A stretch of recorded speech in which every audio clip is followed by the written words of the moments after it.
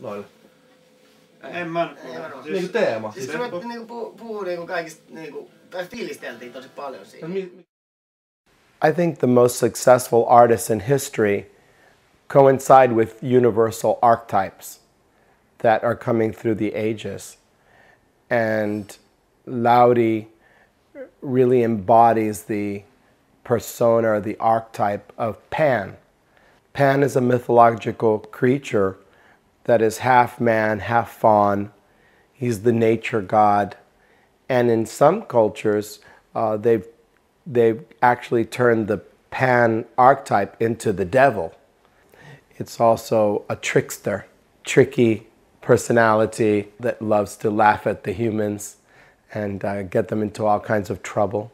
John Bon Jovi represents uh, somebody like Apollo, or you know, some kind of uh, warrior.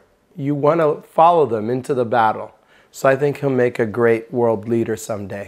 Se, että moni varmaan mieltää, että kun Desmond, Desmond Child on tehnyt niin monta hittibiisiä, että se olisi hirveän pinnallinen ihminen, jotenkin kylmä, mutta se on yllättävän boheemi ja taiteellinen.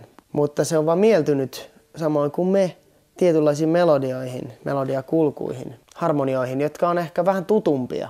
Missiona on säveltää semmoinen biisi, mikä kuulostaa, että tähän niin kuin jo tehty, mutta se ei olekaan.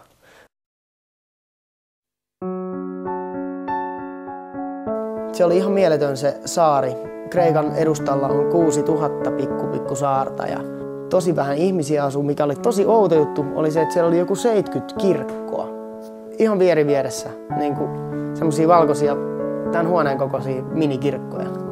Erittäin outo tapa tehdä rocklevyä. Yleensä ollaan aina tehty, tai aina rockibändit tekee niin, että mennään treenikämpälle soittaa niitä ideoita ja sit siitä niinku kehittyy se juttu. Mutta me tehtiin sen biisin akustisella kitaroilla. Silloin sitä ei niinku tiedä, miltä se kuulostaa bändin kanssa. Laudi and, and Polly had been writing separately for a long time these different ideas, and then they would combine the, the ideas, and there was a lot there to work with. Meillä oli Laurinkaan niinku tietokoneella ne meidän kaikki ideat, mitä oli jotain niinku lähes 40. Ja yleensä me kuunneltiin niinku Laurinkaan, mikä olisi semmoinen biisi, mistä me ollaan niinku kahdestaan täysin varmoja, että mitä me halutaan lähteä tekemään. Heitään parit rasvaset jokit ja sitten se on, no mi- mistä tänään lähdetään. Ja käydään melodiat ja soinnut läpi ja jos se on niinku kunnossa, niin sitten ollaan silleen, että no mistä tämä kertoo. Sitten yleensä juteltiin ö, lounaaseen saakka kaksi-kolme tuntia, niin käytiin semmoista brainstormia. Semmoista mä en ole ikinä aikaisemmin ko- kokenut. Ja periaatteessa rakennettiin sen biisin ympärille kokonainen maailma. Että onko tässä niinku joku tyyppi, kuka tässä kertoo, missä niinku se kävelee esimerkiksi, tai mikä se maailma on. Et käveleekö se niinku tiellä vai onko se satumetsässä vai ja ketä sen frendit on, öö, onko sillä frendejä, onko sillä perhettä. Ja jos se on rakastunut johonkin, niin minkä näköinen se on, minkälainen se tyyppi on, kenen se on niinku rakastunut. Et siitä on helppo niinku sit poimia, niinku, et, ja sitten se teki niinku näin ja näin. And pretty soon they show me in the smallest ways who they are and what they need. Once I, I really saw that clearly about him, it was easy to write lyrics because lyrics that a pan wouldn't sing don't go into the songs.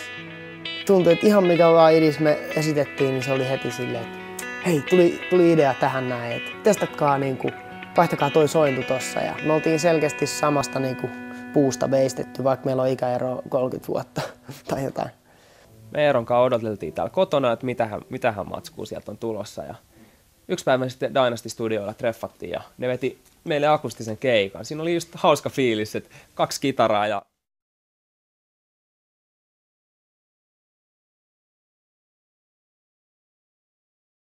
All the ten songs are, are co-writes.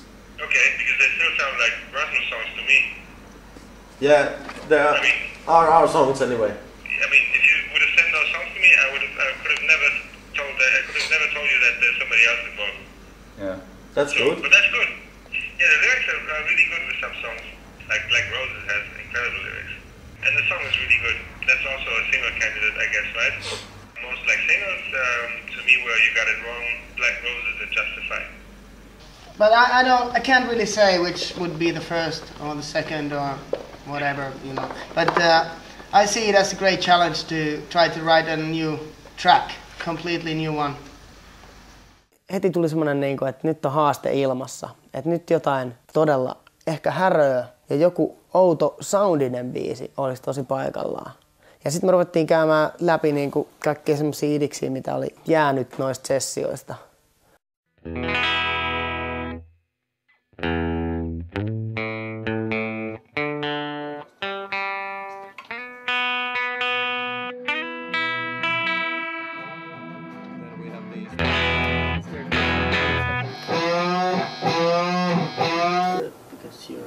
we don't have to back Yeah. and forth and switch to something. Yeah, let's do it one more time here.